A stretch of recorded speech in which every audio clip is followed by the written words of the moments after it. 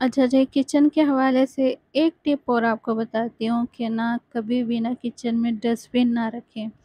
السلام علیکم۔ جی کیسے آپ سب؟ امید کرتی ہوں آپ سب خیریت سے ہوں گے۔ الحمد للہ جی میں بھی ٹھیک ہوں۔ اور نہ، آج کریں گے کچن کی ڈیپ کلیننگ اور ساتھ میں آپ کے ساتھ جو ہے نا، شیئر کروں گی کچھ ٹپس اینڈ ٹرکس جو تھوڑی بہت میں اپنے کچن کے لیے جو ہے وہ یوز کرتی ہوں۔ تو پھر نا وہ بھی میں آپ کے ساتھ شیئر کروں گی۔ اچھا ٹھیک ہے جی۔ پتہ کیا ہوا کہ نا مائکرو ویو کے نیچے مجھے نا ڈسٹ نظر آ رہی تھی اور اس کو اچھا خاصا صاف کرنے والا ہوا ہوا تھا تو پتہ ہے اچھا سردیاں ہوتی ہیں نا تو تب تو میں مائکرو ویو ادھر ادھر سائڈ پہ کر کے اس کے نیچے سے بھی اچھے سے صفائی کر لیتی ہوں۔ لیکن ابھی جو ہے نا ہو گئی ہیں گرمی اور مجھے ڈر لگتا ہے کہیں کوئی نہ چھپکلی وغیرہ اس کے پیچھے نہ ہو، اس ڈر سے جو ہے نا میں نے اس کو ہلایا نہیں تھا کوئی ایک ڈیڑھ ہفتے سے۔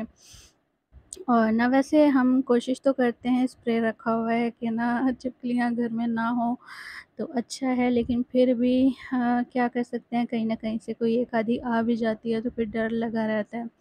اچھا سب سے پہلے میں نے نا اپنی ہیلپر سے کہا کہ نا یہ مائکرو ویو ہٹا کے نا تو اس کے نیچے سے بھی اچھے سے جو ہے نا وہ صاف کر لو۔ اور اس کے پیچھے والی جو دیواریں ہیں نا ان پہ بھی سرف والا کپڑا۔ اچھا سرف جی اس پہ میں نے لیمن میکس ڈلوایا ہے۔ بس تھوڑا سا ہی اس نے ڈالا تھا اور اچھی خاصی جو ہے نا جھاگ بھی بن گئی ہے اور اس سے نا چمک بڑی آتی ہے اور جو تھوڑی بہت بھی ایسے ٹائلوں پہ گریس وغیرہ لگی ہوتی ہے نا، جیسے کوکنگ کرتے ہیں تو تھوڑی بہت گریس جو ہے وہ لگ جاتی ہے ایسے ٹائلوں پہ نا۔ تو بڑی اچھے سے جو ہے وہ صاف ہو جاتی ہیں۔ اچھا اس کے بعد یہ ٹاول وغیرہ لے کے رکھے ہوئے ہیں کچن کلیننگ کے لیے۔ اور یہ بڑے جو ہے نا، اچھے رہتے ہیں، صفائی ان سے بڑی اچھی ہو جاتی ہے۔ اور ساتھ میں جو ہے نا یہ چھوٹے والا وائپر سا بھی لے کے رکھا ہوا ہے، جیسے وائپ کر دیں گے اور بڑا اچھے سے جو ہے نا یہ سوکھ جائے گا۔ اچھا ہوا پتہ کیا تھا کہ نا میں نے سوچا آج ہمت کی کہ نا کچن جو ہے وہ صاف کر لیتے ہیں عید سے پہلے۔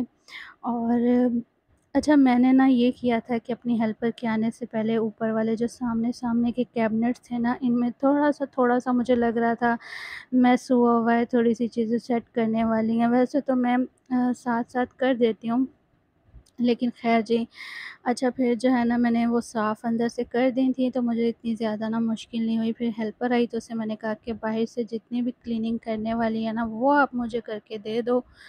اس کی وجہ یہ ہے کہ میں اسٹول پہ جو ہے نا وہ چڑھنے سے ڈرتی ہوں، کہیں میں گر نہ جاؤں۔ تو بس میں نے نا پھر ہیلپر سے کہا تھا اچھا اس لیے جو ہے نا وہ اوپر تک ہاتھ جاتا نہیں ہے۔ تو پھر میں نا یہاں تک صفائی نہیں کر پاتی، جہاں جہاں تک میں کر سکتی ہوں میں کر لیتی ہوں۔ اچھا جی اس کے بعد نا پتہ کیا ہوا؟ اچھا بہت ساری آپ کو یوٹیوب پہ ٹپس ملیں گی اس طرح کی کہ نا اسپرے وغیرہ بنائے ہوئے ہوتے ہیں، جیسے میٹھا سوڈا وغیرہ ڈال کے اور سرکہ ڈال کے اور اس طرح نا کلیننگ کے لیے۔ لیکن اگر آپ کو جھٹ پٹ سی کلیننگ چاہیے نا، جلدی جلدی والی اور بہت اچھی سی جس میں چمک آ جائے، تو پھر میں نے جو ہے نا کیا کیا ہوا ہے کہ اسٹونش کمپنی کا کچن کلینر لے کر رکھا ہوا ہے۔ اور نہ اس سے چولہا بھی بڑا اچھا صاف ہو جاتا ہے۔ ویک میں ایک سے دو مرتبہ تو میں اسی سے صاف کر لیتی ہوں۔ ویسے میں ڈش واشنگ لکوڈ ڈال کے صاف کر لیتی ہوں۔ اور اس طرح جو ہے نا یہ چمنی، یہ اور اس کے آس پاس کی جتنی بھی جگہ ہے نا، یہاں پہ ہو جاتی ہے گریس۔ اچھا وہ نا ویسے تو اتنی کیمرے میں آپ کو نظر نہیں آئے گی، لیکن نا ہو جاتی ہے ایسے دیکھنے میں، سامنے مجھے نظر آ رہی ہوتی ہے، پھر مجھے تھوڑی تھوڑی الجھن بھی ہو رہی ہوتی ہے کہ یہ نا صاف ہو جائے۔ اچھا پھر کیا کرتی ہوں کہ وہی اسپرے لگا کے نا بس یہیں کھڑے کھڑے تھوڑی دیر کے لیے چھوڑ دیا تھا، جب تک اس نے ہیلپر نے دوسرے والا جو ہے وہ کیبنٹ کے باہر سے صفائی کی ہے، تو تب تک جو ہے نا وہ گریس جو ہے وہ اچھے سے اتر گئی تھی اور پھر اس نے جو ہے نا اچھے سے جو اسٹیل کی جو ہوتی ہے نا کیا کہتے ہیں اسے کچی کہتے ہیں اس اچھے سے اس نے صاف کر لیا تھا، تو پھر جو ہے نا بڑی چمک آ گئی ہے۔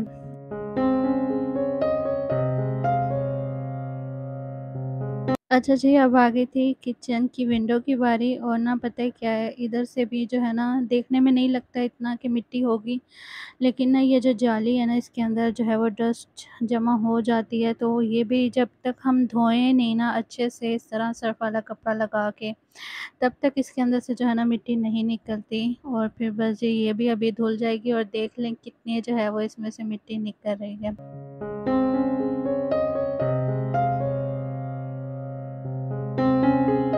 اچھا جی میں نا آپ کو ایک ٹپ دیتی ہوں کچن کے حوالے سے۔ اچھا اس کو آپ ٹپ سمجھ لیں یا ٹرک سمجھ لیں۔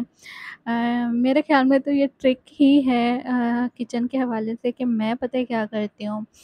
جب بھی نا مجھے لگتا ہے نا کہ کچن کو اس طرح پورا جو ہے وہ صاف کرنے والا ہے کیبنٹس وغیرہ باہر سے اور ایسے ٹائلیں وغیرہ اور باہر سے ساری صفائی ہونے والی ہے اور ہیلپر کو ایک دن لگا کے اس سے کروانا ہے کچن صاف، تو میں کیا کرتی ہوں اس سے ایک دو دن پہلے سے ہی نا کچن کی تھوڑی تھوڑی کلیننگ جو اندر سے مطلب جیسے کیبنٹس کے اندر سے جو صفائیاں کرنے والی ہوتی ہیں نا، وہ میں تھوڑی تھوڑی کر لیتی ہوں۔ اچھا وہی بات ہے کہ میں ایک دم سے نا کھلارا نہیں ڈالتی کیونکہ مجھے پتہ ہوتا ہے کہ ایک دم سے جو ہے نا پھر بندہ کھلارا ڈالے نا اپنے لیے مشکل بن جاتی ہے۔ کچن کے اور بھی کام کرنے ہوتے ہیں، کوکنگ بھی کرنی ہوتی ہے، گھر کو بھی دیکھنا ہوتا ہے تو پھر جو ہے نا ایک ساتھ نہیں کھلارا ڈالتی۔ پھر میں کیا کرتی ہوں ایک ایک کیبن کر کے نا اندر سے صاف کر لیتی ہوں۔ تو وہ مجھے بھی آسان لگتا ہے کرنا، جیسے کچن کر رہی ہوتی ہوں نا صاف، جب ناشتہ وغیرہ بنا کے اس کے بعد جب صاف کرتی ہوں تو کبھی ایک کیبنٹ اندر سے کھول کے صاف کر لیا، کبھی دوسرا کر لیا۔ تو اس طرح نا میری ساری جو صفائی ہے نا وہ ہوئی ہوئی ہوتی ہے، پھر بعد میں نا باہر والی ساری جو کلیننگ ہے وہ رہ جاتی ہے۔ وہ پھر میں ایک دن اپنی ہیلپر کی جو ہے کہتی ہوں اس کو کہ کر دو۔ اچھا ہوتا کیا ہے کہ نا ہیلپر لوگوں کا بھی نا یہ ہوتا ہے کہ ان کو ہم نے صرف جھاڑو پوچھے کے لیے رکھا ہوا ہے، ٹھیک ہے؟ تو پھر کیا ہوتا ہے نا کہ اس طرح جب ایکسٹرا کوئی کام کروانا ہوتا ہے نا، اب دیکھیں صفائی کے علاوہ اس کو تقریباً ایک سے ڈیڑھ گھنٹہ صرف کچن میں ہی لگ گیا تھا۔ تو انہوں نے دوسرے گھروں میں بھی جانا ہوتا ہے، کام کرنا ہوتا ہے۔ تو پھر ان کو بھی ایک آدھا دن پہلے بتا کے رکھنا پڑتا ہے۔ اچھا اگر اب میں پراپر کلیننگ اسی سے کرواتی، ساری جیسے کیبنٹ کے اندر سے بھی میں اسی انہیں سے صاف کرواتی نا۔ تو ان کو بہت زیادہ یہاں ٹائم لگ جانا تھا، کچھ تین گھنٹے تو آرام سے لگ جاتے۔ اور پھر ایک انسان جو ہے وہ کتنی دیر جو ہے نا گرمی میں کھڑے ہو کے کام کر سکتا ہے۔ تو پھر بس انہیں چیزوں کا جو ہے نا وہ خیال اور احساس کر کے۔ تو پھر میں یہی سوچتی ہوں، چلیں ٹھیک ہے، اندر اندر سے تھوڑی تھوڑی کر کے روز میں خود صفائی کر لوں گی اور باہر کی جو ہے نا وہ اپنی ہیلپر سے کہوں گی، وہ کر دے گی۔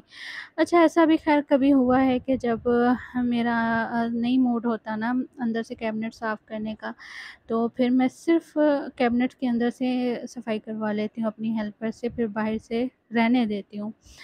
تو اس طرح جو ہے نا یہ ایک اچھی ٹپ ہے کہ تھوڑا تھوڑا کر کے جو ہے نا کام کر لیا جائے۔ انسان خود بھی جو ہے بڑا ریلیکس رہتا ہے، مزے میں رہتا ہے اور گھر بھی ہمارا صاف رہتا ہے اور ہمارا خاص کر جو کچن ہے، سب سے مین چیز جو ہوتی ہے نا کسی بھی عورت کے لیے وہ اس کا کچن ہوتا ہے۔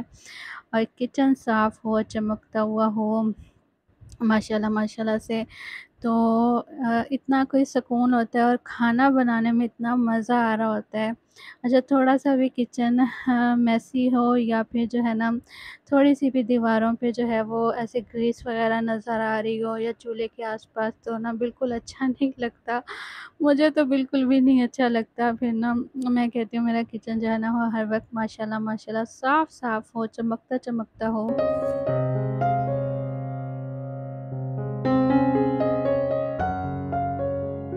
اچھا جی کچن کے حوالے سے ایک ٹپ اور آپ کو بتاتی ہوں کہ نا کبھی بھی نا کچن میں ڈسٹ بن نہ رکھیں۔ اچھا آپ کو نا میری یہ بات بڑی عجیب لگ رہی ہوگی کیونکہ زیادہ تر لوگ جو ہے وہ ڈسٹ بن رکھتے ہیں کچن میں۔ تو میں یہ بات اس لیے کہہ رہی ہوں اچھا آپ نے دیکھا ہوگا میرے کچن میں کہیں ڈسٹ بن نہیں پڑا۔ اس کی نا وجہ یہ ہے کہ اچھا ہم کچن والی ڈسٹ بن میں کیا چیزیں ڈالتے ہیں؟ ہم لوگ ڈالتے ہیں جی سبزیوں کے چھلکے، فروٹ کے چھلکے اور اس طرح کی چیزیں نا۔ تو اس سے کیا ہوتا ہے، ایک نا عجیب سی اسمیل بن جاتی ہے جو کچن میں بالکل بھی اچھی نہیں لگتی۔ تو میں کیا کرتی ہوں کہ نا جب بھی کوئی چیز کاٹتی ہوں نا جیسے کوئی سبزی کاٹنی ہے، کوئی فروٹ کاٹنا ہے، کسی بھی چیز کا جو ہے وہ چھلکا وغیرہ ہے، یا جیسے ہم برتن دھو رہے ہوتے ہیں تو برتنوں میں کچھ چیزیں، جیسے چکن کھایا ہے تو ہڈیاں بچ گئی ہیں، اس طرح۔ وہ نا ایک چھوٹا سا باؤل، ایک کٹورا یا پھر ایک شاپر چھوٹے والا، ٹھیک ہے؟ ساتھ میں رکھا ہوا تھا، ہر چیز اس میں جمع کرتے جائیں کرتے جائیں۔ اور جیسے ہی آپ کا آپ نے کٹنگ کر لی، ہر چیز ہو گئی، برتن دھل گئے، اس شاپر کو اٹھائیں، جا کے باہر والی ڈسٹ بن میں پھینک آئیں۔ تو یہ جو ہے نا، ایک ٹپ ہے جس سے کچن بھی صاف رہتا ہے اور اسمیل بھی نہیں آتی۔ ٹھیک ہے جی اپنا بہت سارا خیال رکھیے گا، مجھے اپنی دعاؤں میں یاد رکھیے گا۔ اوکے جی اللہ حافظ۔